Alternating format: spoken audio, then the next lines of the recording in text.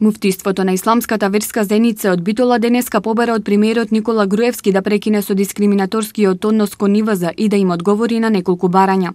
Безусловно и итно изградба на џамијата во село Лажец и во Прилеп. Бараме безусловно и итна денационализација на имотот на Исламска верска заедница.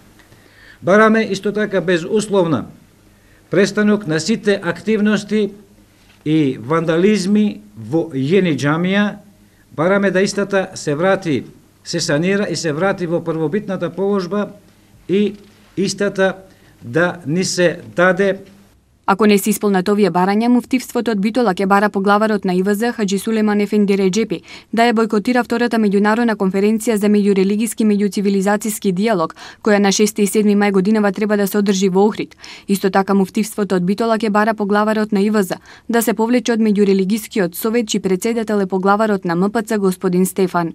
Пошто е председател на тој совет и до ден денес уста не отворил да даде подршка за она што се случува со исламската култура, традиција и архитектура во полза на исламската верска заедница.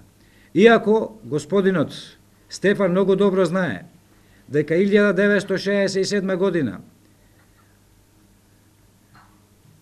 во тежнењето на МПЦ за автокефалност Исламската заедница е прва институција во тогашна Југославија која бланко на, на МПЦ ја даде максималната подршка. Доказ дека меѓуверските заедници нема рамноправен однос се постапките за денационализација, рече муфтијата. МПЦ ги завршува барањата за три месеци, еврејската заедница за еден месец, а за исламската заедница споровите траат со години, додаде тој.